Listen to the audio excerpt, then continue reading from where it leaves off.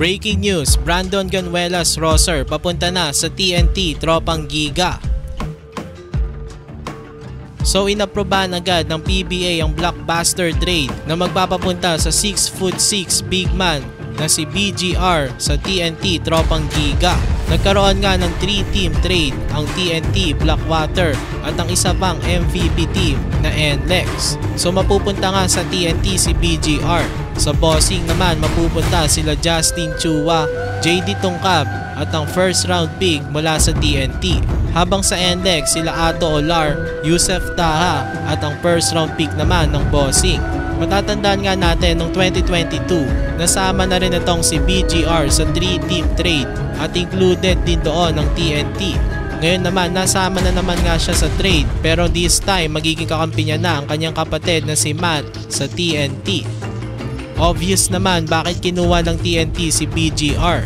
Marami kasi ang injured sa kanila especially sa kanilang mga bigs.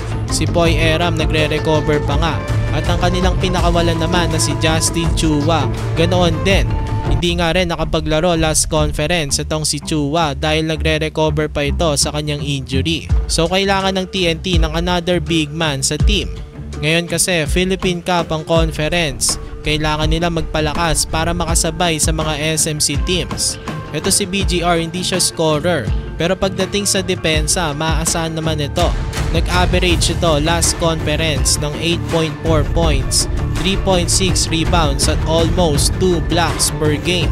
So dyan pa lang kitang kita na kung bakit maaasahan siya sa defense. Napansin ko nga lang bilang isang big man, medyo mababa ang kanyang rebounding sa kanyang stats. So ayun ang isa pa nitong weakness sa kanyang game. Pero I think TNT pa rin naman ang panalo dito sa trade dahil ang pinakawalan nila ay si JD Tongkab na hindi naman masyado nagagamit. Tapos yung isa nagre-recover pa sa isang injury. Para naman sa NLEX, solid din naman itong nakuha nila. Dahil pag healthy itong si Ato Olar, magaling din naman ito. Na-injured nga lang din ito last conference. Si Yusef Taha naman, decent big man.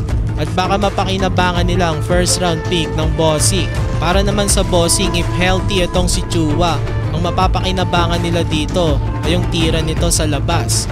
Isa nga itong stretch 5 na may disenteng low post game din. Kaya lang injury prone na ito lately at umiidad na rin. Unlike sa pinakawalan nila na si Ato Olar na batang bata pa. So anong masasabi nyo sa trade na ito? Fair trade ba ito mga kabakets?